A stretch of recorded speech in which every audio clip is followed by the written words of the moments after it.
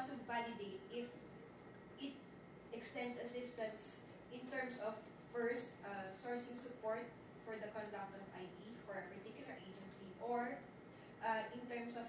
uh, capacity building uh, so that the agency itself can conduct its own IE, uh, especially since if the project will be or the program is conducted.